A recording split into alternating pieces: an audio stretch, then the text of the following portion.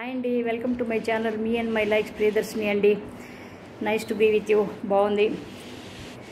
ఒక చిన్న చిన్న టాపిక్తో మీ ముందుకు వచ్చాను ఇవాళ నేను. బాలీవుడ్ వాళ్ళ గురించి. వాళ్ళ మీద పితూరీలు చెప్పడానికి రాలేదు. వాళ్ళ వాళ్ళ లైఫ్ స్టైల్ గురించి ఒకసారి మనం నేను మీతో పంచుకుంటానికి వచ్చాను.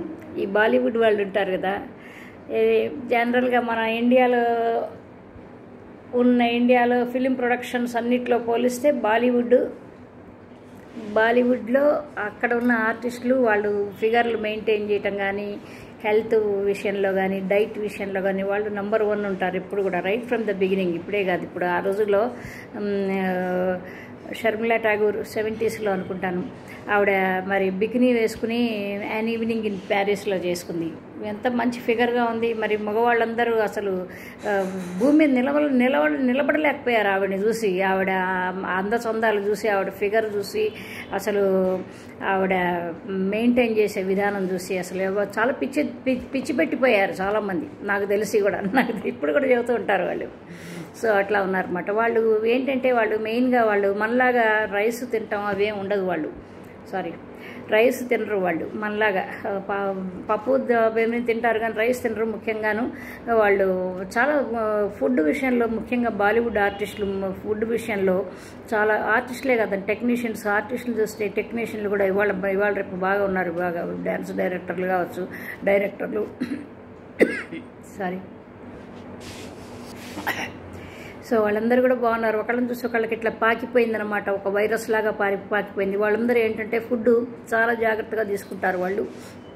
అన్ని ప్రోటీన్స్ న్యూ న్యూట్రి న్యూట్రిషన్స్ ఇవన్నీ అవి ఎక్కువ చూసుకుంటారు అనమాట కార్బోహైడ్రేట్స్ పిండి పదార్థాలు అవి ఎక్కువ ఉండకూడదు ఫ్యాట్స్ ఎక్కువ ఉండకూడదు ఇట్లాంటివన్నీ ఇవన్నీ జాగ్రత్తలు తీసుకుంటారు. సో వాళ్ళకి ఏంటంటే ఇట్లాంటి వాళ్ళందరికీ ఇవాళ రేపు ఎందుకంటే ఎందుకు చెబుతున్నానంటే అసలు మోడర్న్ జమానాలో మన ఇండియాలో డబ్బులున్న వాళ్ళు ఎంత ఎలా అనుభవిస్తారు వాళ్ళ లైఫ్ని ఎంత ఎంజాయ్ చేస్తారు ఎంత ఆర్గనైజ్డ్గా ఎంజాయ్ చేస్తారు అనేది చెప్పడానికని ఫోన్ అని ఇప్పుడు మీకు నేను మాట్లాడుతున్నాను అనమాట వాళ్ళు ఏం చేస్తారంటే వాళ్ళు ఇప్పుడు దీన్ని వాళ్ళు అన్నంలో అన్నాలు వండుకోరు. ఇళ్ళలో మనం వండుకున్నట్టు మన కిచెన్లో ఉన్నంతసేపు ఉన్నట్టు ఉండరు అనమాట వాళ్ళు ఏదో ఒక ఒక ఏజెన్సీస్ ఉంటాయి వాళ్ళకి. ఏజెన్సీస్ ఫుడ్ సప్లయింగ్ ఏజెన్సీస్ ఉంటాయి అనమాట పర్స దానికి పర్సనల్ ఆప్టిమైజ్డ్ డైట్ అని పి పిఓడి అంటారు దాన్ని. Pod person personal optimized diet agencies ఉన్నాయన్నమాట. ఆ ఏజెన్సీకి వాళ్ళు ఒక్కొక్కళ్ళు అది బాగా ఇవాళ ప్రామినెంట్గా ఉంది. సినిమా యాక్టర్లకి సినిమా పర్సనాలిటీకి ఫిల్మ్ పర్సనాలిటీకి బాలీవుడ్ పర్సనాలిటీకి ఫుడ్ ఫుడ్ సప్లై చేయటంలో వీళ్ళ ఇది ఈ ఏజెన్సీ ముంద ముందంజ వేసిందనమాట ఇదేంటంటే నెల నెలవారీగా డబ్బులు తీసుకుంటారు.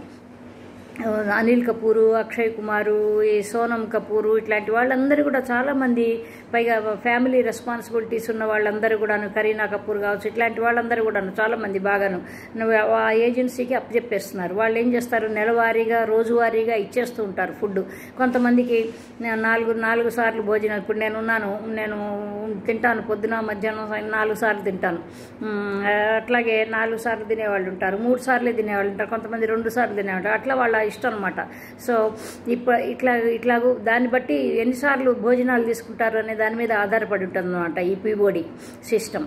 అట్లాగే వాళ్ళకి ఎంత వీళ్ళందరికీ ఇంతంత డబ్బులు హేమమాలిని వీళ్ళు కూడా తీసుకుండొచ్చు. బహుశా అందరూ అదేనండి. ఒకళ్ళని చూసి ఒకళ్ళు ఒకళ్ళని చూసి ఒకళ్ళు. ఎందుకంటే ఈ బిజినెస్ లేకపోతే ఒట్టిగా ఒకళ్ళ కోసం ఇద్దరి కోసం పెట్టుకోరు కదా. సో వీళ్ళందరితో పాటు దీపిక పడుకొని రన్ రణ్వీర్ సింగ్ వీళ్ళిద్దరు కూడాను ఉన్నారన్నమాట. వీళ్ళు ఉన్న- వీళ్ళు వీళ్ళు వీళ్ళు కుదుర్చుకున్న ఒప్పందం పీఓడితో కుదుర్చుకున్న ఒప్పందం నాలుగు నాలుగు సార్లు ఒక్కొక్కళ్ళకి నాలుగు నాలుగు నాలుగు సార్లు భోజనం సప్లై చేయాలి.